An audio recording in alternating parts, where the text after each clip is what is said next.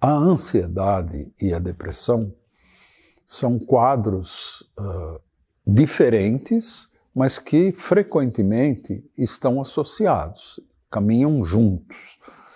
Uh, nós temos uma pesquisa recente agora do Hospital Albert Einstein, em que foram avaliados cerca de 33 mil pessoas entre funcionários, colaboradores e pacientes uh, pós-pandemia.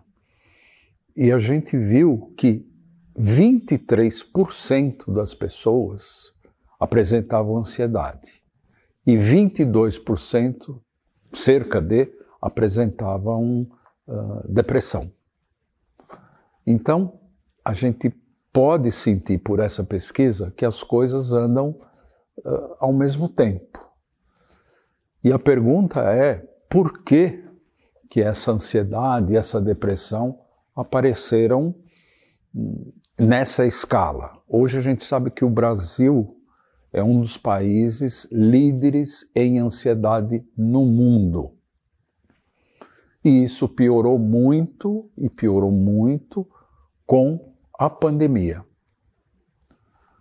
A pandemia estamos cerca de dois anos e meio tal, surgiu de repente com uma coisa desconhecida, um vírus desconhecido, colocando medo em todo mundo, transformando o mundo inteiro. Isso foi gerando uma ansiedade, uma inquietude. E agora, como é que vai ser?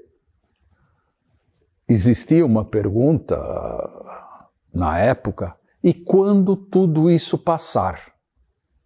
Como é que vai ser? Isso gera uma ansiedade, uma sensação de desconforto, inquietude, o que, que eu vou fazer?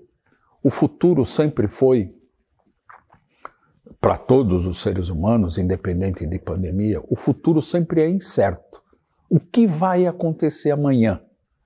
Tanto do ponto de vista físico, espiritual, emocional, as pessoas sempre se preocupam com amanhã. O passado já foi, o presente é agora, eu estou vivendo, mas e amanhã? O que, que vai acontecer? Toda essa situação de incerteza gerou isso, essa ansiedade. Como é que eu vou ficar? Como é que vai ser? Como é que eu vou sobreviver? Primeira coisa que eu, que eu gostaria de salientar é que nós não podemos tudo nós precisamos de ajuda. Então, nós precisamos de um psicólogo, nós precisamos de um médico, de um médico especialista, de um psiquiatra, para nos ajudar a vencer essa situação. Algumas coisas poderiam ser citadas. Por exemplo, nesse convívio diário de toda a família, a gente aprender a se respeitar. Eu vou me cuidar. Porque eu sou a pessoa mais importante do mundo. Se eu me cuidar, eu vou poder cuidar dos outros. Senão, não. Então eu vou me cuidar, vou me respeitar, vou ter o meu horário de trabalho, vou ter o meu horário de lazer, vou ter o meu horário de refeição. Então, estabelecer limites para si mesmo.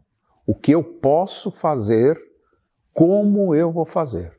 Atividade física é muito importante nessa hora e, e nem que seja uma caminhada. Então, nós falamos em se respeitar. Eu não posso tudo. Eu vou precisar de ajuda. E sem, eh, sem preconceito, sabe?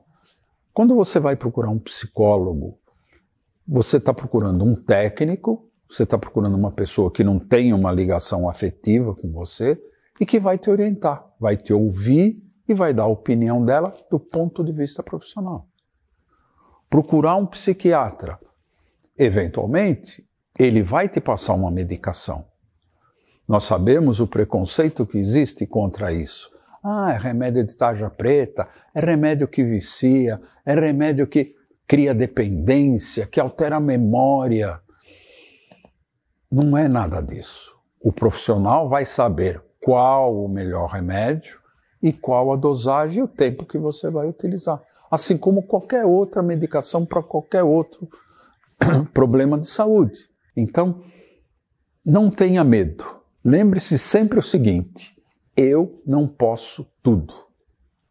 Gostaria de, mas não, não dá. Nem eu e nem ninguém. Nós precisamos de ajuda para tudo, em todo instante.